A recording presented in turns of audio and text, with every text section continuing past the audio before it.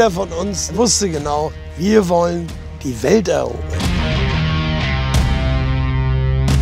So wie wir sind, sind wir. Und ich glaube, diese Authentizität ist das, was die Onkels wirklich so erfolgreich gemacht haben. Weg die Dämonen und zündet die Bengalos. Also ich meine, bitte, das ist, das ist eine Achterbahnfahrt vom Allerfeinsten.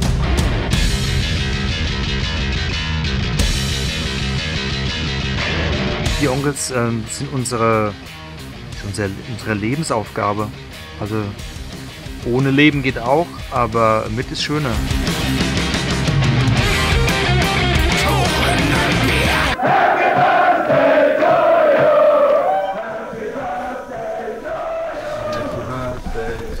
Was? Wer darf denn ausrufen? Ich wünsche mir noch mal 40 Jahre. Ah. Kuchen und Bier. Na also, Kinders, so lässt sich's arbeiten. 14.000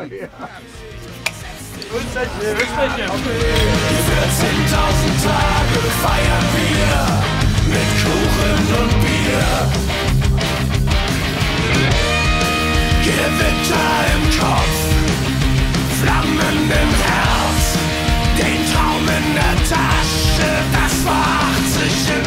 40 ist so surreal. Was sind 40 Jahre für eine Band? Ich meine, das ist ein Leben. Ja. Also es könnte jetzt auch das 20-Jährige sein und ich würde jetzt nicht viel Unterschied merken. Ich finde es immer besser, muss man ganz ehrlich sagen. 14.000 Tage, Liebe und Kabale, Kinder, wie die Zeit vergeht, setz dich und mach's dir bequem. Die 14.000 Tage feiern wir mit Kuchen und Bier. Kuchen und Bier.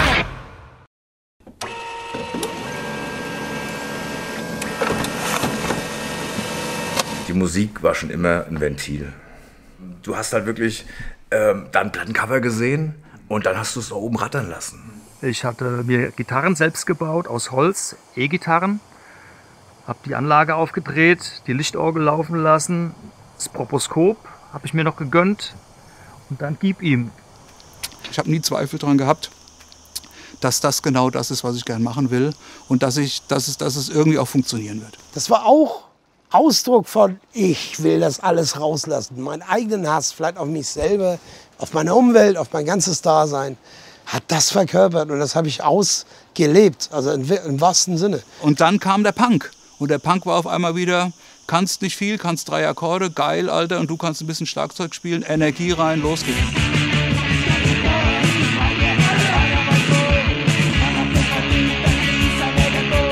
Da wurdest du wirklich als Punk noch schief angeguckt. Ja, man ist schon blöd angemacht worden in der Berufsschule, äh, an der Würstchenbude oder so. Hier, Fasching ist vorbei, mein Freund. Wie siehst du denn aus? Ich war noch in der Lehre damals, Sex Pistols hinten auf der, auf der Lederjacke drauf gehabt, wenn ich durch die Produktion gegangen bin in der Firma.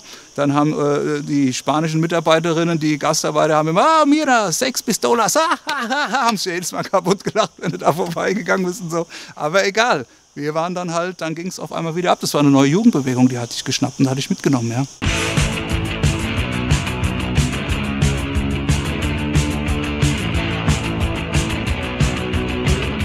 Konnte sich einfach gehen lassen. Die, das hat dir auf einmal diese Freiheit gegeben. Und auf einmal stand dir die ganze Welt offen. Weil du sagst, okay, also ja, das geht. Ja, also wir brauchen jetzt ähm, nicht erstmal fünf Jahre Gitarrenschule, bevor wir uns trauen, jetzt eine Gitarre in die Hand zu nehmen. Wir haben keine Angst davor, uns zu blamieren.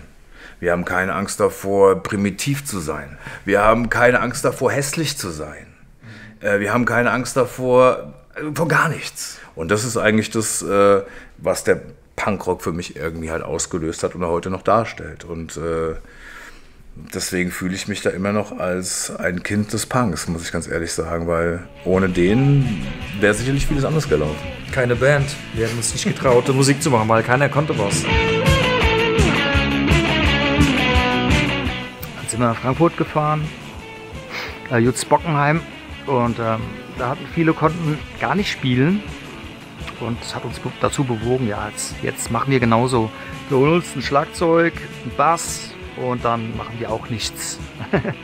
Es ist einfach schon mutig, mit so viel Dilettantismus äh, ähm, und, und, und äh, einfach nur Energie, ohne Können, ohne das geringste, das geringste Können, ähm, sich auf die Bühne zu stellen und einen Dicken zu machen.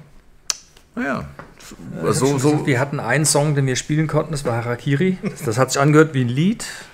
Und äh, damit war es auch äh, war Ende der Fahnenstange. gab ein Lied, das hieß Teppich runter, hat einfach nur jemand den Wandteppich von der, von der, von der Wand gerissen. Also da kann man ungefähr sich so ähm, ausmalen, wie ja, wie es damals so abgegangen ist.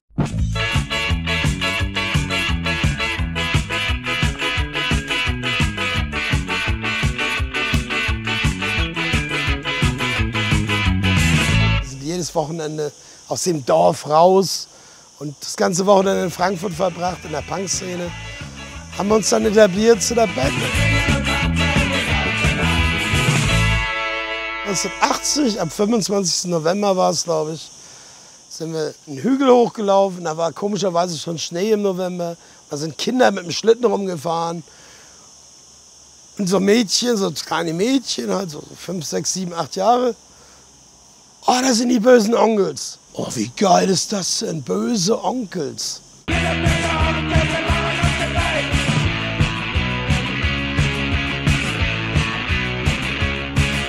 Ja, Gonzo ist am Anfang dazugekommen auf jeden Fall. Äh, Jutz Bockenheim, er war da auch mit seiner Band. Also der konnte ja schon richtig gut spielen. Die haben auf dem Dachboden oben in Jutz Bockenheim hatten die einen Proberaum gehabt. Und dann durften wir dann auch mal damit in die heilige Stätte da oben. Und äh, der Gonzo hat äh, Sex Pistols Lieder nachgespielt. Äh, Das haben die Ohren geschlackert. Na geil, die waren total begeistert. Und äh, konnten ihm gut zureden und dann eines Tages hat er gesagt, Jungs, ich spiele bei euch mit. Er hat das Potenzial erkannt und ähm, von da ab war klar, jetzt geht's los. Das Interessante bei den Onkels war, dann ist nichts passiert. Dann bist du in die Band eingestiegen und das war's dann. Und hast du gedacht, gut, proben wir irgendwann mal. Anscheinend nicht. Ja, ähm, ja es war, wie gesagt, viele Auftrittsmöglichkeiten gab es halt nicht. Uns hat man auch nicht zu Partys eingeladen. Ja, da mussten wir halt reingehen. Aber wir, eingeladen sind wir nicht. eingeladen waren wir nicht. Das hat immer, das hat immer irgendwie, das hat immer ein Unglück genommen. wenn wir auf irgendwelchen Punkkonzerten waren, aber wir waren natürlich nicht auf dem Line-Up, aber die ganze Band war da, sind wir zu denen hingegangen. Am Stefan war immer ganz groß da drin, die zu überreden, ey, bevor ihr anfangt, können wir doch spielen. Instrumente habt ihr da und so. Und so sind wir dann zu ein paar Konzerten gekommen und so weiter. Einfach so total unbedarft und ach komm, machen wir das einfach mal, weißt du? Und guck mal, was passiert, ja? Und hatten halt keine Hemmung, das muss man, das muss man wirklich sagen. Oder sehr wenige und die konnte man sich wegtrinken. Wir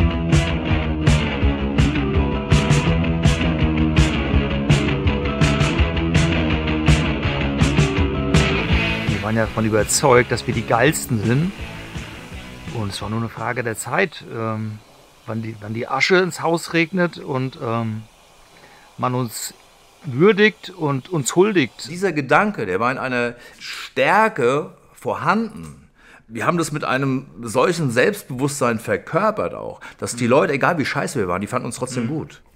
Klar haben wir uns natürlich auch über uns selbst kaputt gelacht, ja, aber wir haben uns auf der anderen Seite dann auch wieder uns verklagt, Alter, wir sind die geilsten. Geschah. Plötzlich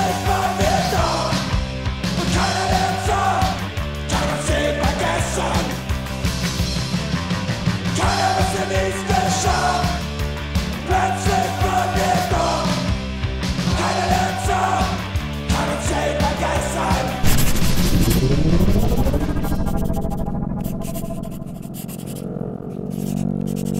Ziel eines jeden jungen Musikers ist es ja, okay, einmal im Leben muss ich mal eine Platte aufnehmen. Ja, ich glaube, die erste Platte, die lässt sich mit keiner anderen vergleichen, ja. Ja, der, sagen wir mal, der Besitzer war das, glaube ich, dieser, dieser ominösen Plattenfirma, kann man ja ruhig sagen heute, dass die damals, waren die noch gar nicht so als ominös bekannt, weil die haben auch eine ultra viele Punk-Sampler aus England in Deutschland rausgebracht und so. Und der meldete sich damals halt bei uns und sagte, ja, ihr seid geil, ihr müsst eine Platte aufnehmen, ähm, ich zahle euch den Studioaufenthalt. Du hattest doch gar keine Ambition, du wolltest einfach nur das Ding haben. Im Studio, alles total aufregend, die vielen Knöpfe und Bandmaschinen und ich weiß nicht was. Und jetzt, ne? Und da war klar, die geilsten, jetzt sind wir echt die geilsten, ja. Wir haben auch eine Quizfrage. Wer will die Quizfrage stellen? Hier. Kevin? Ja, die Quizfrage, die lautet, wie heißt die verbotene Platte von uns?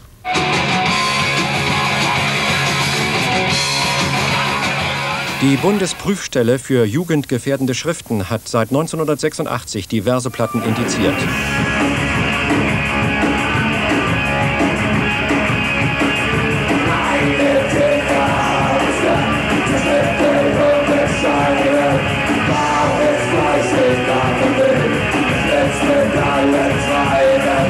Also ich schreibe die Texte meistens in der Ich-Form aus dem einfachen Grund, weil ich glaube, dass wenn die Leute kriegen es dann eher ins Gesicht geschlagen. Es wirkt einfach ein bisschen härter. Obwohl Ja. das nicht unbedingt gemeint ist, wenn ich jetzt zum Beispiel irgendeine, über einen Kindermörder oder sowas ein Lied schreibe, dann hat das nicht für mich nicht die Bedeutung, dass ich das ins Positive ziehen will, sondern einfach nur, was in dem Mensch seiner Psyche halt vorgeht. Der Text ist einfach nur eine schauspielerische Rolle.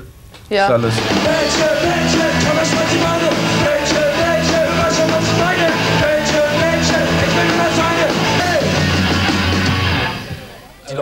Haben halt irgendeinen Grund gesucht, wegen politischen Aussagen die Platte verbieten lassen, aber da war eben nichts zu machen und dann haben sie es eben mit anderen Sachen, eben mit Gewaltverherrlichung, Pornografie halt so halt geschafft, die Platte auf den Index zu bringen.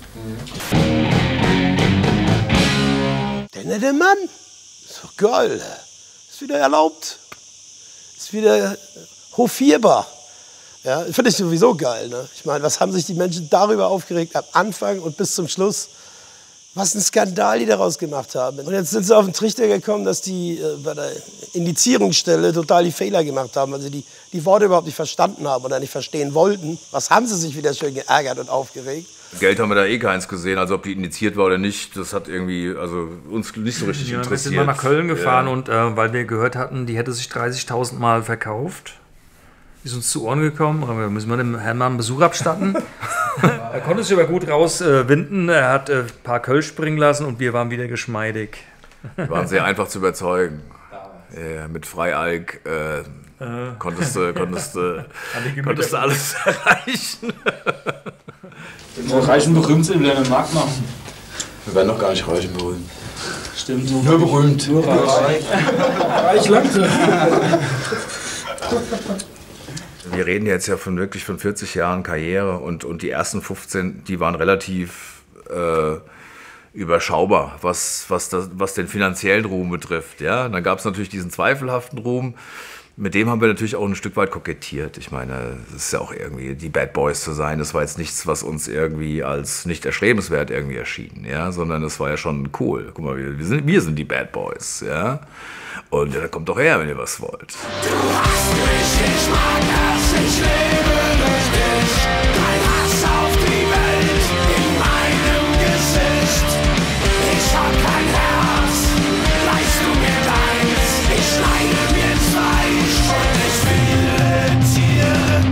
Politik irgendwie ähm, hat uns nicht interessiert. Also bei uns stand ganz klar der Spaß im Vordergrund.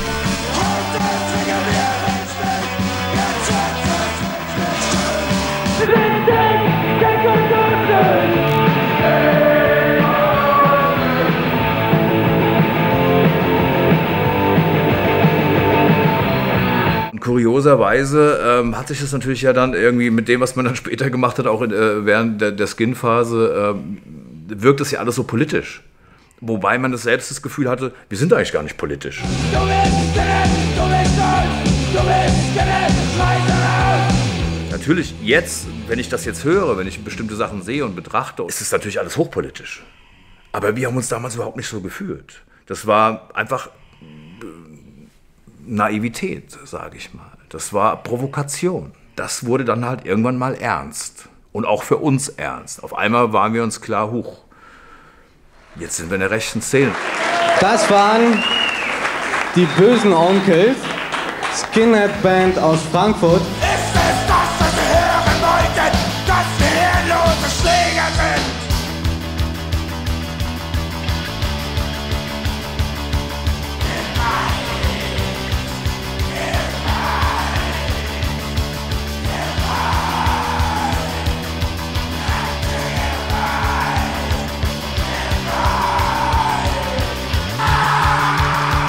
Und dann hat es dann schon auch einen Auslöser gebraucht, wie so ein Konzert in Berlin damals im Bunker, wo dann auf einmal, ich weiß gar nicht, wie viele Leute damals gewesen sind, einfach nur noch, äh, ich weiß gar nicht, äh, Ausländer rausgerufen haben und alle Mann den Hitlergruß gemacht haben. Und spätestens da war uns klar, dass äh, sich was ändern muss. Und das hat, ja, ich will nicht sagen Angst gemacht, aber es war dann schon, wo das, boah, Alter, hast habt ihr das, ge, habt ihr das gemerkt, was da los ist? Das war jetzt das letzte Mal, dass wir hier, äh, hier äh, so ein Konzert gespielt haben. Ja? Und dann haben wir auch direkt, ähm, also du konntest ja direkt die Haare wachsen lassen. Ne? So, okay, raus hier. Die Leute, die jetzt noch Skins sind, also das sind meistens zu 98 Prozent sind das also Rechtsradikale. Das gab es früher nicht. Das von vornherein muss man das mal klarstellen. Die Skin-Bewegung heute, die ist also nicht mehr unsere Bewegung. Von der distanzieren wir uns ganz weit. Mit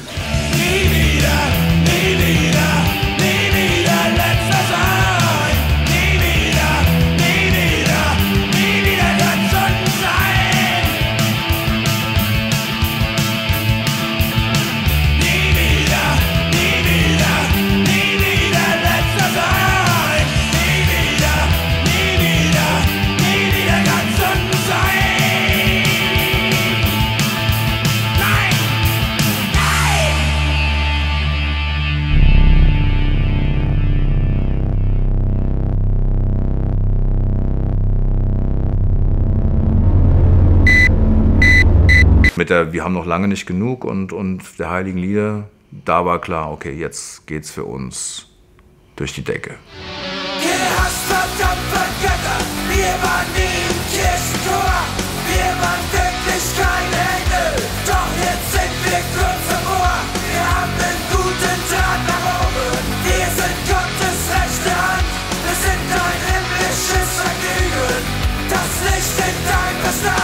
Die war damals auf dem fünften Platz irgendwie. Das konnte sich keiner erklären. Ne?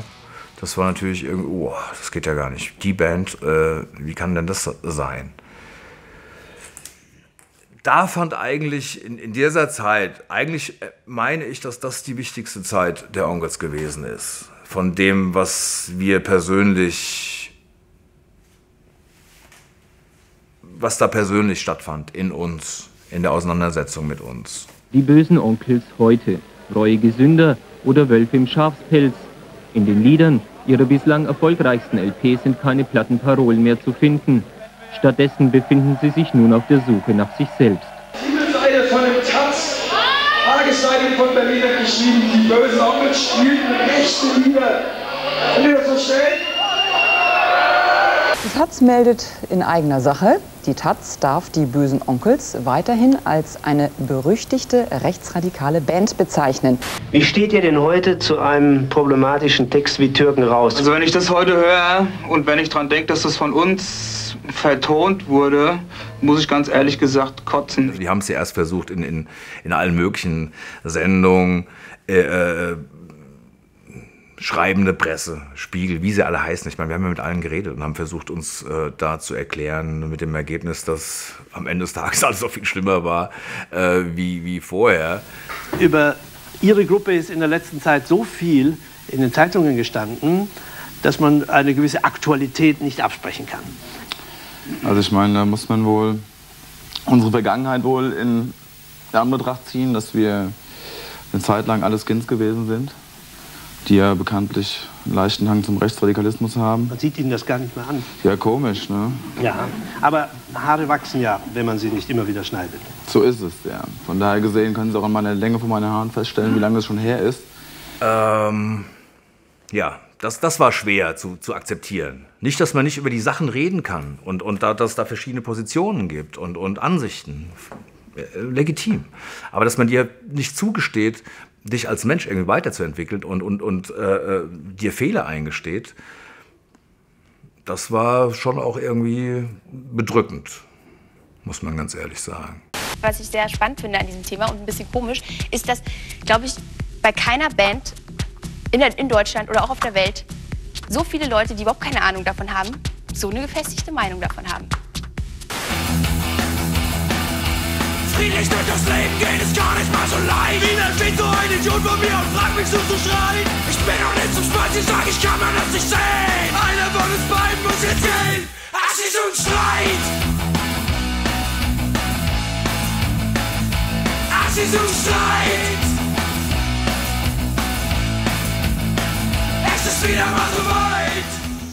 Da stehen dir die Haare zu Berge. Was da schon alleine aus manchen Sätzen, wenn man sie dann umdreht oder rückwärts liest, dann, ist das, dann bedeutet das irgendwelchen Nazi-Scheiß oder irgendwie sowas. Das ist, ich weiß nicht, wer, das, wer da auf solche obskuren Ideen kommt. Also das ist schon Wahnsinn. Zuhören ist, glaube ich, ziemlich schwierig. äh, den anderen wahrzunehmen, was der wirklich ausdrückt. Die Leute teilen sich lieber mit, als sie zuhören. Und so war das bei uns auch. Wir haben äh, das gesagt, was wir denken, aber die Leute haben nicht zugehört. Haben sich daraus ihr eigenes, äh, ihre eigene Geschichte gestrickt. Man fühlt sich an manchen Momenten natürlich dann auch wie so, so ein Tier, das an die Wand gestellt wird und sagt, okay, jetzt erst recht. Ne? Das heißt, wir als Band, wir oder wir vier Freunde, die hat das alles nur enger zusammengeschweißt. Der Stachel im Arsch der Nation.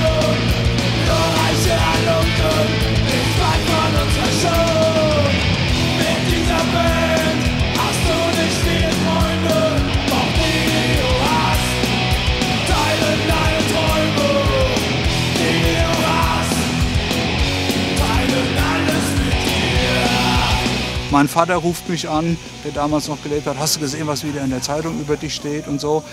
Und irgendwann hast du gedacht, weißt du, ah, ich habe jetzt einfach auch keinen Bock mehr auf die ganze Scheiße hier.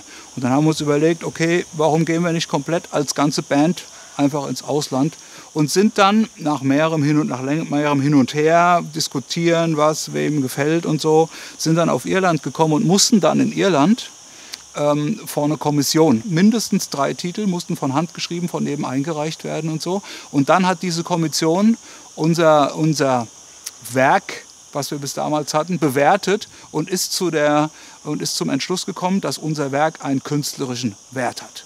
Und dann haben wir gesagt, oh, sag mal, wie geil ist das denn? In Deutschland werden wir verfolgt und die Presse jagt uns und wir dürfen nicht auftreten und die Iren sagen, ihr könnt gerne zu uns kommen, euer Werk hat einen künstlerischen Wert. Könige des Pathos, radikale Humanisten, hoffnungslose Außenseiter, Idealisten. Und trotz allem haben wir stetig mehr Platten verkauft und haben stetig mehr positive Reaktionen bekommen. Es gab damals schon unheimlich viele Leute, sprich jetzt in unserem Fall Onkelsfans, die dieses Spiel durchschaut haben, was mit uns gespielt wurde und die gesagt haben, nee, so nicht. Ja, das lassen wir uns nicht gefallen, das lassen wir uns nicht verbieten, die Band gut zu finden. Und wir kommen trotzdem zu den Konzerten und wir kaufen trotzdem die Platten und so weiter. Und das hat natürlich, war natürlich eine unheimlich große Hilfe. Hysterie und Hexenjagd und trotzdem Nummer eins. Das Leben meint es gut mit uns und das war der Beweis für diesen armen Planeten scheint Hoffnung zu bestehen. Manche Dinge sind wahr, auch wenn wir sie nicht sehen. Das Drama beginnt, Gottverdammt erschreckend. Köpfe werden rollen und niemand, niemand kann sich retten. Das ist der Punkt, vor dem dich alle warnen. Wir schießen Wahrheit durch deine Membrane. Das ist so klar wie Wodka. Du findest uns ganz oben. Wir leben ohne Rücksicht auf Konventionen. Das ist Rock'n'Roll und Rock'n'Roll ist Emotion. Ja, das ist Energie, ja. und Und- Energie. Und ja, das, also, ist, das ist uns wichtiger als technische Perfektion, sagen wir es mal so.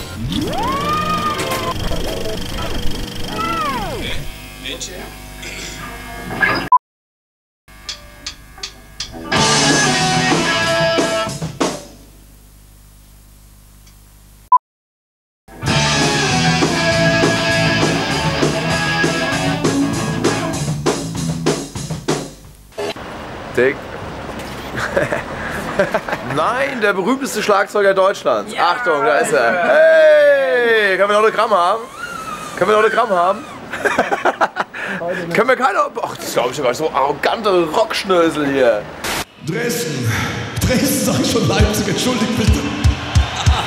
Warte mal, nee, doch, mach mal. Hier, Kevin P., bitte da rein. Kevin P. hier rein, weil ihr stinkt.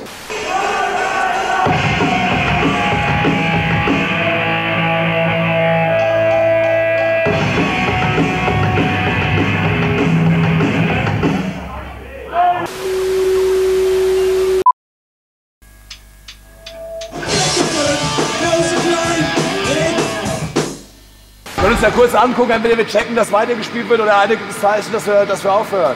Dann wissen wir, okay, jetzt ist zu Ende. Wenn dann spiel du nix, ja, dann spielen wir es weiter. Wenn ich nicke, hören wir auf. Das. Ja, aber nicht mittendrin. Nee.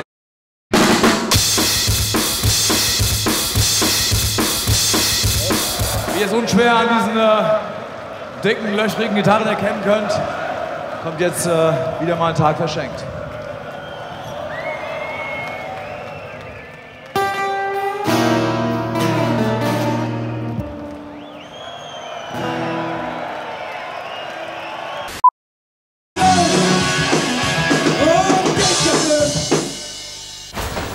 Buonasera, signorina. Alles klar? Machen eine Rock'n'Roll.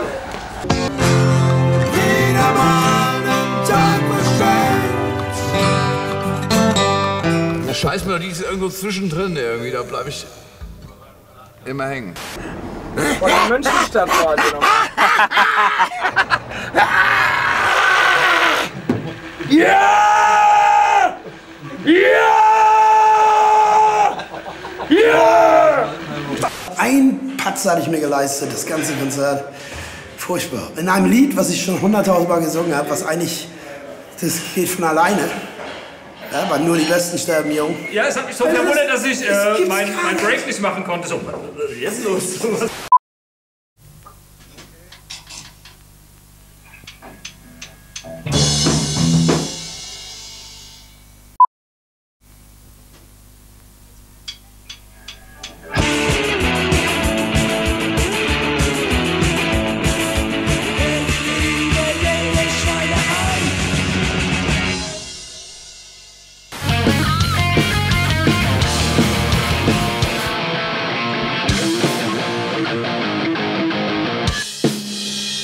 Ich hab's verpeilt. Hier, film doch den da mal, den Lump. Der sitzt da nur rum. Ja, eben hab ich mich so halbwegs durchgemogelt. Das war jetzt schon nicht schlecht, aber. Scheiße ist das, alles scheiße. kurz und prägnant, kurz und prägnant. Mann, Mann, Mann, ey.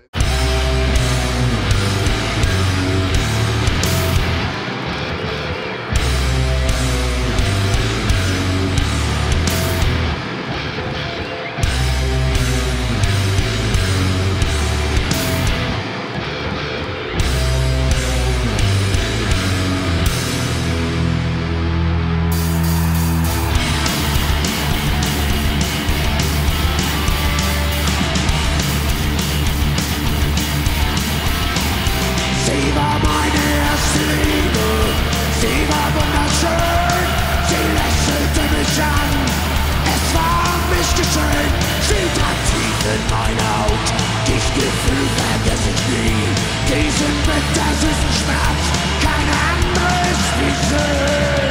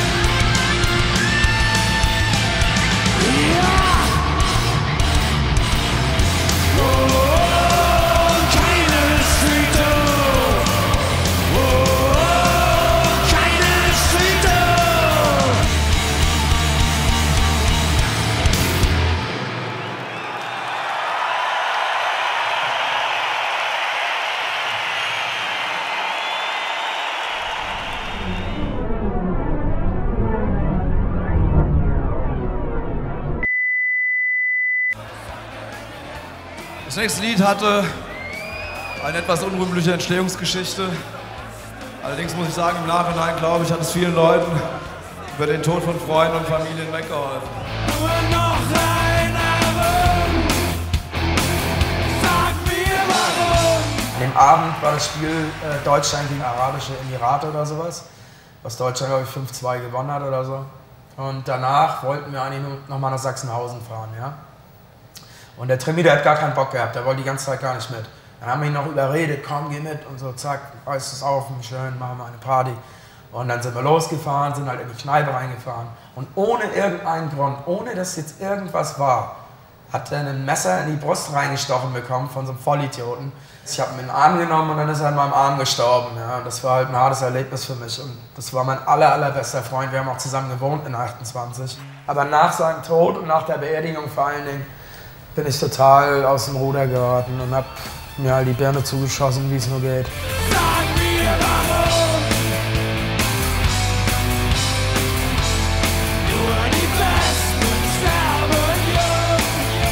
kann es einfach nicht lassen, mich immer wieder in Drogenexzesse reinzuschmeißen. Und die sind ultra lang gewesen ultra brutal, ultra viel. Polytox heißt mit allem, alles was Rausch macht, habe ich genommen. Ich versuche mal da den, den Ball flach zu halten und einfach zu sagen, dass es, dass es wahnsinnig schwer ist, mit einem Drogensüchtigen eine Band zu haben, äh, gemeinsam an Zielen zu arbeiten und, und, und äh, einen Job abzuliefern, der den Fans gerecht wird. Also eins ist mir ganz besonders in Erinnerung geblieben, das war, als wir damals bei Virgin Records waren, haben wir in der Münchner Olympiahalle gespielt und Virgin Records hat irgendwie einfliegen lassen aus ganz Europa, England, von der Zentrale von Virgin und so weiter, irgendwie 50, 60 Leute. Alles, was wichtig ist.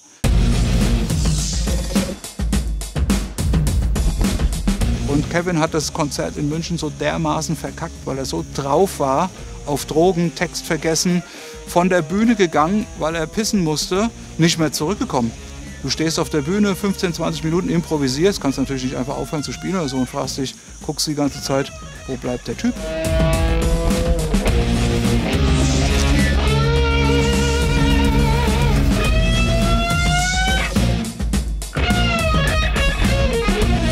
15 Minuten oder sowas, 20 Minuten, haben sie ihn dann gefunden und auf die Bühne zurückgebracht. Ja? Der hat sich in sein Kabel eingewickelt. Äh, das, der hat falsch gesungen, falsche Einsätze gehabt. Also wie gesagt, das Konzert war ein totales Desaster.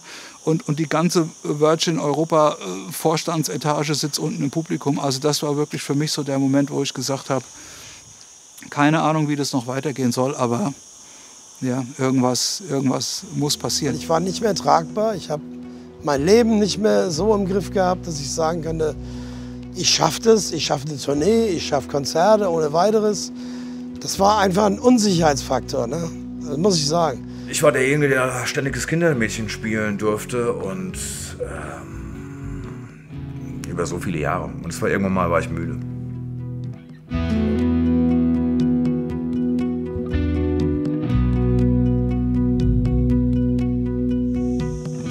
Kam ein Anruf, Stefan bittet P und mich, ähm, bei ihm vorbeizukommen. Und dann hat er uns äh, kurz und bündig gesagt, er hat keinen Bock mehr und das war's.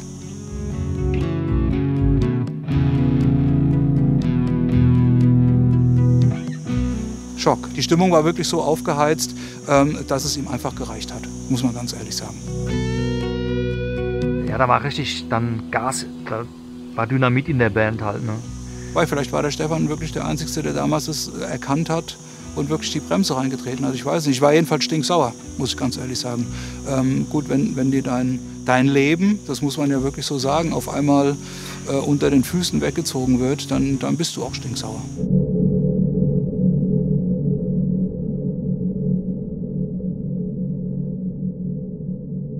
Wir waren Kumpels. Egal was passiert, war klar. Ne? Wir müssen das irgendwie halt äh, zusammen wuppen, da zusammen durch und wir sind füreinander da. Ne? Aber es ist, äh, es ist halt irgendwann ein Punkt eingetroffen, der nach so vielen Entzügen und Versprechungen und äh, äh wieder irgendwo ähm, an einem Punkt angelangt war, wo du sagst, okay, jetzt, es geht jetzt nicht, jetzt ist es vorbei.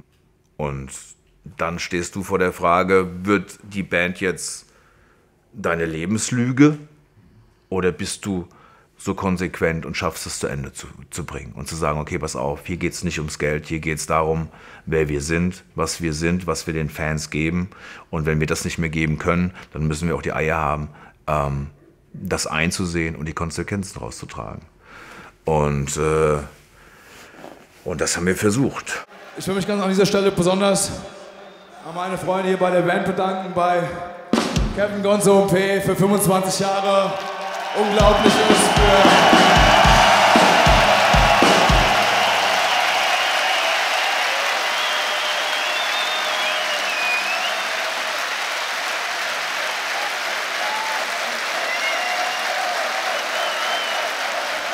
für einfach nur noch ein Stein von den Herzen gefallen, war froh, dass es vorbei ist.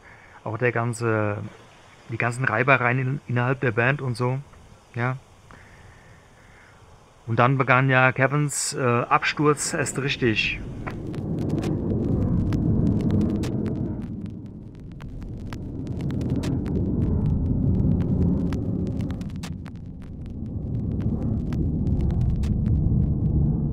Unschön. Man hätte, man hätte das mit mehr Größe zu Ende führen können.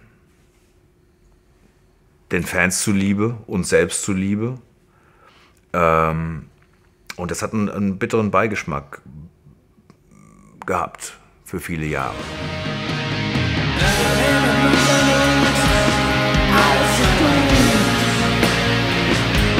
Danke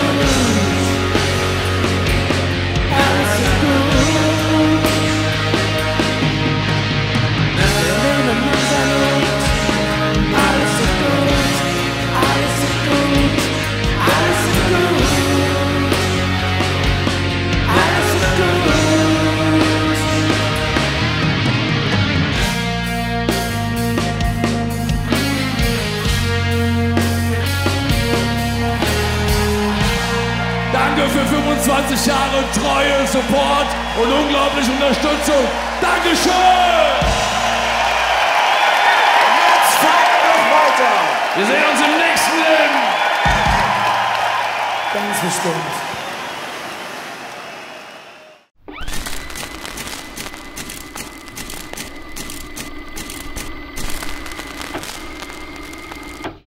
Es hätte ja gar nicht zerbrechen müssen. Das ist ja eigentlich äh, äh, das, womit wir in dieser Zeit gehadert haben oder womit ich gehadert habe. Was wir draus gemacht haben, war nicht gut. Stefan und ich waren ja äh, tief verkracht.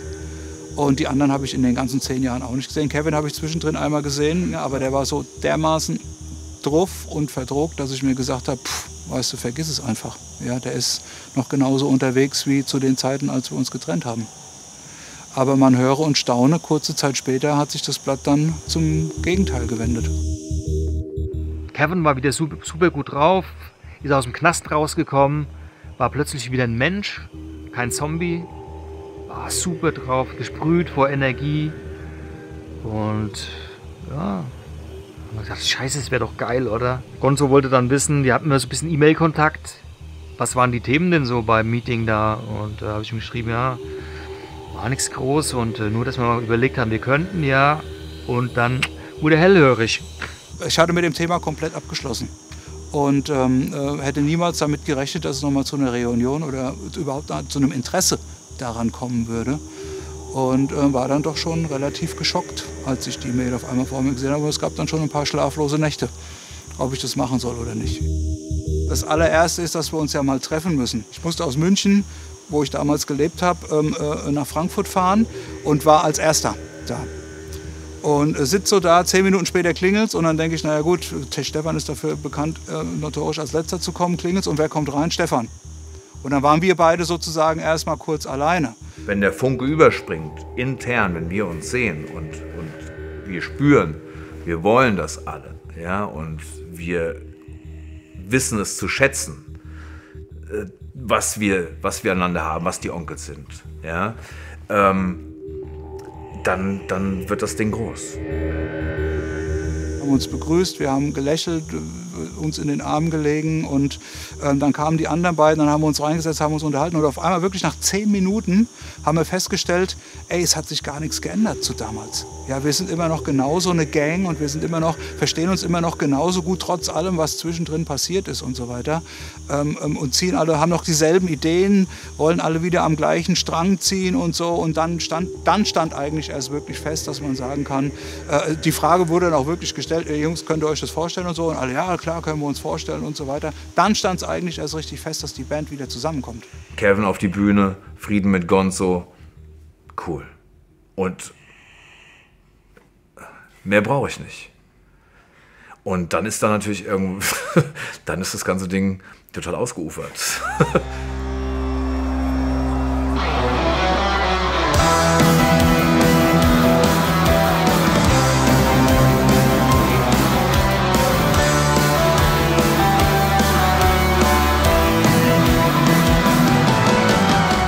jetzt erlebe, ist eine Reunion, eine persönliche und ein äh, Gefühl von Wiedergutmachung, auch an mich selbst und an die Zuschauer.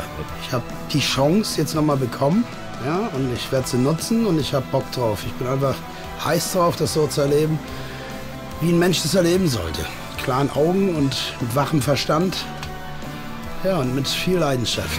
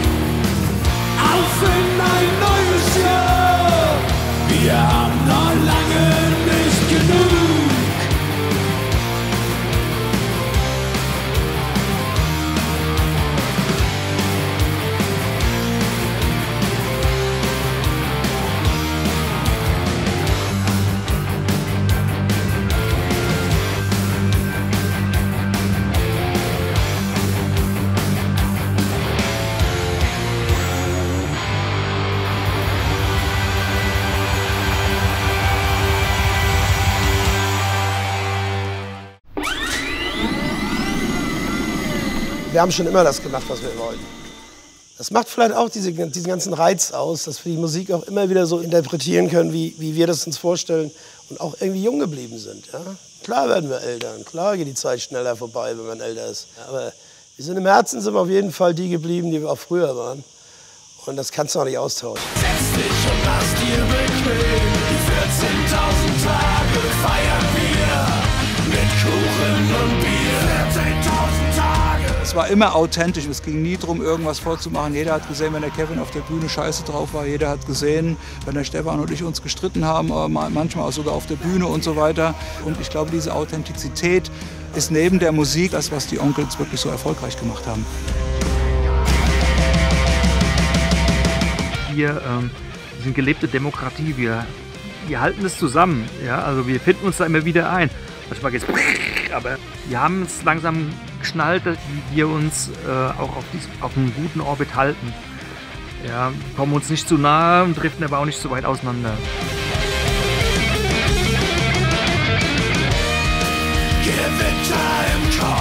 Mich erfüllt das Thema Onkels mit tiefster Demut. Dankbar, äh, sowas erleben zu dürfen, auch auf diese Art, die nicht immer äh, toll war, aber ähm, so ohne Schulterklopfer und durch all dieses Dickicht und all die- diese, diese Anfeindung irgendwie äh, ähm, heil rauszukommen. Also ich meine, bitte, das ist, das ist eine Achterbahnfahrt vom Allerfeinsten. Ja? Ähm, und lebenserfüllend.